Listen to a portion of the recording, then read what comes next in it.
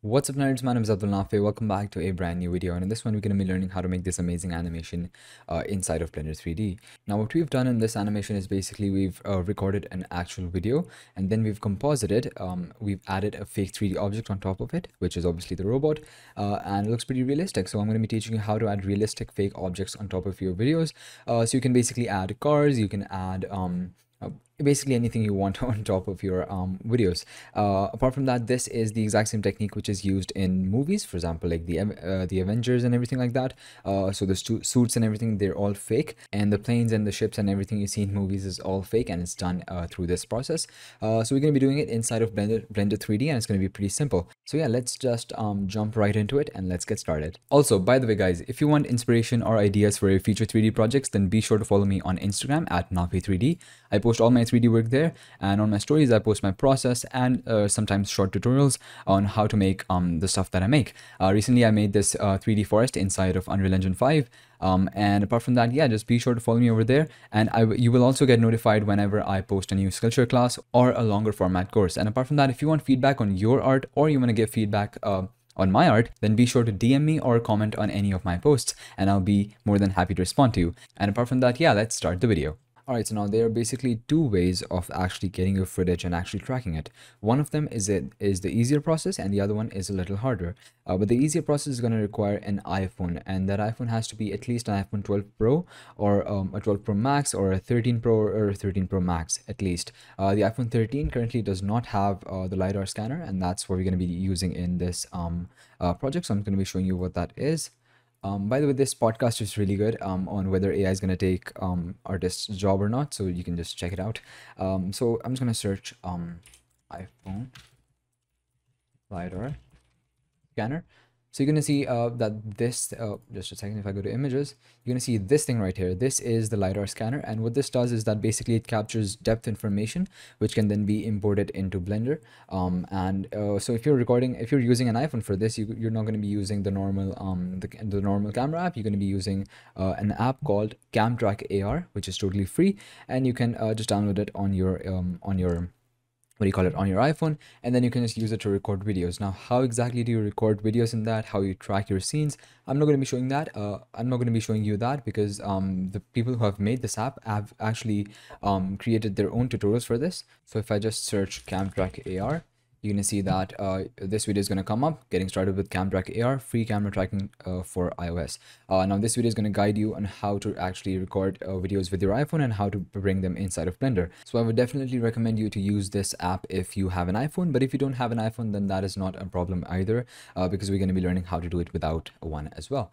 Uh, so I'm just going to be closing these and let's open a brand new file in Blender and what I'm going to do is that first of all I'm going to be uh, opening a new file, which is going to be a VFX file. So usually we open a general file, but this time we're going to be doing VFX. Uh, all right, perfect. Now I'm going to be importing the uh, the video which I recorded. So now make sure that the video recording is um, in well in good lighting, uh, is in well lit conditions. Um, that's just going to make the track um, much more easier to do. Apart from that, you have to make sure that it actually does contain some items which are easily distinguishable and which can easily be tracked. So I'm going to be showing you what I mean in just a second. So I'm just going to be opening uh, the video which I am going to import and which I recorded. All right, so this is the video which I'm going to be using. So you can just watch it and so you can see uh, what I meant by um, easily distinguishable objects were basically that uh, items which have contrast. For example, this um, this uh, cable right here, it has contrast. Uh, it's a white cable against a black background. Uh, this Phantek written right here, this is also a contrast object. And this part right here, the shiny part right here is also contrast. Um, and you can see this red speaker right there is also contrast. So uh, there has to be quite a lot of contrast in your um, in your what do you call it in your video for it to be easily trackable. And it has to have some items which um which are not blending in with uh, the background. All right so once you have your video ready what you got to do is you have to simply import it inside of blender. And i'm just going to be doing that right now. I'm just going to go and select this video right here. So i'm just going to be dragging this right here and i'm going to be dragging it inside of blender right here. Uh, alternatively what you could do is you could simply press this open button right here and you could just browse to wherever you had it imported. So i'm just gonna import it once again. And all right uh, now if i just play it ahead you're gonna see it's playing just normally. And um, what I'm going to do is that I'm going to be uh, pressing this set scene frames. So it's going to adjust our um, keyframe uh, adjust our frames uh, according to the length of the video. And I'm just going to press this prefetch right here which is going to load um, um going to load the video in our memory so it doesn't take time later on. And one thing which you might be noticing is that the colors seem a little washed out. If I just go here and if I play it you're going to see it has much more contrast as compared to Blender um, it's a little more washed out. So what I'm going to do is that I'm going to be going to um, this render properties and inside this color management, we're, we're just going to be setting it to uh, standard instead of filmic. Now you're going to see the difference. Standard looks um, a lot more uh, like the actual clip. So what I'm going to do is that I'm going to be going to the, uh, the first frame, frame number one, and we're just going to be adding some uh, what do you call it adding some tracking points. So for that what i'm going to do simply do is that i'm just going to be pressing this detect features. Either you can just add a tracking point and you can just uh, place it wherever you want uh, or we can simply or what we can do is that we can simply just uh, press this detect features right here. And it's going to be adding tracking points wherever things um, are good. And now if I just go to these settings you're going to see that we have these options right here. Now the margin I'm going to reduce it to 8 so that's just going to add um, a little more keyframes. And apart from that the threshold I'm going to set it to 0.01 uh, now the reason why I'm setting it so low is that so that we can have a lot more points. Uh, and I'm just going to be reducing the distance. Now this distance is the distance between these points. If I just reduce it to 80 you're going to see it's going to add some more uh, points right there. So the more points you have, the better it is generally for your first track. Uh, however, for the final track, you need um, only, I think, eight points. Uh, so yeah, that's uh, basically it. And apart from that, let me, uh, once we have these points, what I'm going to do is that simply I'm just going to go to, I'm just going to expand this now, if I go here to this motion model menu, you're going to see that there are uh, many uh, motion models, but I'm just going to be selecting perspective because that just makes sense for this um, sort of clip.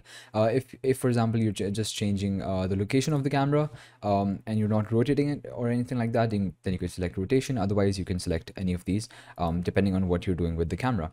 As that simply, I'm just going to select all these points by pressing, uh, just selecting one and pressing A. So now all the points are selected and I'm going to press Control T on my keyboard. Now this is going to track them forward.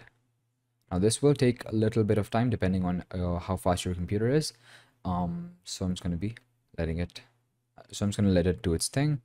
Alright, so now the tracking is finally complete and you're going to see uh, that most of these points are actually pretty uh, close together and they have tracked pretty well. But some of them are going astray, they're going uh, away from the general path. So I'm just going to select them and I'm just going to delete curve. Select it, delete and delete curve. And I'm going to see this one right here, this one is pretty weird, so delete that and apart from that i think we're basically good to go. Yeah if you have a lot of these points then what you what you can do is you can simply come here um, come down to solve and then you can just go to this cleanup and you can filter these tracks. Now what i'm going to do with this is that you're going to set the filter threshold to for example like one. Now you're going to see that now any uh, tracks which have a greater value or uh, greater error than this um, value right here uh, they're going to be selected and you can just simply delete them. But i'm not going to do that for now.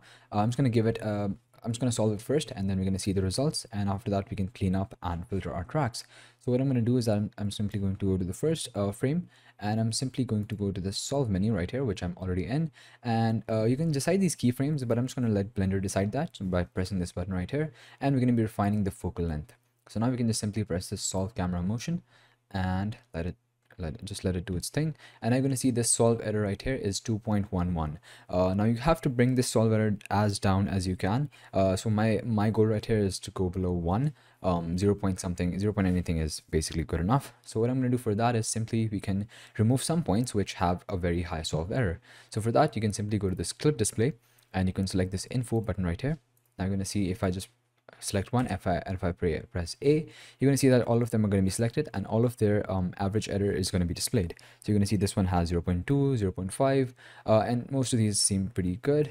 And I'm just going to be removing anyone which has a really large uh, solve error. So this one right here, 3.144 pixels. I'm just going to select that, delete, and press A again to select everything. 2.7, I think that should be deleted as well. Oops, make sure that not everything is selected, just that specific track. Um, these all seem to be pretty good. This one has a solve error of 7.3. so that's basically ruining our whole track. Um, and I think apart from that, this 3 is pretty high as well. I think that should be good enough. So what I'm going to do is that I'm going to be selecting all of them again. And let's press solve camera again to make sure that it has actually done something. And I'm going to see the solve error is down to 0.47, which is pretty good. Um, now we can work with this. We can uh, obviously tweak it even more if you want. But I guess that is fine for now. Um, so our tracking part is mostly done. Now this whole part uh, would be done by the iphone if you had an iphone. So if you're planning to get get one then i would recommend you to get a pro model uh, of um, an iphone 12 or above because that has the lidar sensor and it just makes your life much more easier. Um, and uh, especially with this um, tracking method uh, this uh, with this motion tracking method it does work on some clips but it does not work on other clips as well because um, some clips are just generally more um, complex to track. Uh, but with camtrack ar with um, that iphone feature you can obviously track almost any um, almost any um, situation which you want. Obviously there are limitations but like generally i found it to be better than that uh, than this one. All right so now basically our our motion tracking part is done and now let's start working on adding um, the our item uh, adding our fake 3d object and then uh, obviously lighting it and adding the text textures and everything like that